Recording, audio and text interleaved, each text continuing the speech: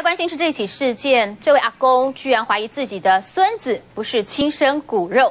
这位台中东市这位徐姓的老先生，他居然就这样子亲手掐死了自己的孙子，而且是在事发一年多之后，他才坦诚自己犯下这起案子。其实，在事发当时呢，他儿媳妇儿就觉得怪怪的，但是阿公不承认也没有办法。但没想到事发一年多之后，这位长期情绪不稳的老先生，他说他真的当时是一时情绪失控。才会酿成了这起悲剧。